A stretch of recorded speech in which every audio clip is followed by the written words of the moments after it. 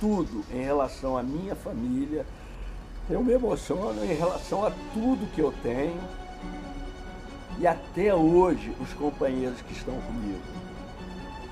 Então é muito gratificante. Eu tenho que valorizar essa sigla, Clube de Regatas do Flamengo. E o principal que eu quero deixar bem claro são os 12 jogadores que nós criamos essa frase, que é essa nação brasileira, nação rubro-negra, que corre esse mundo todo.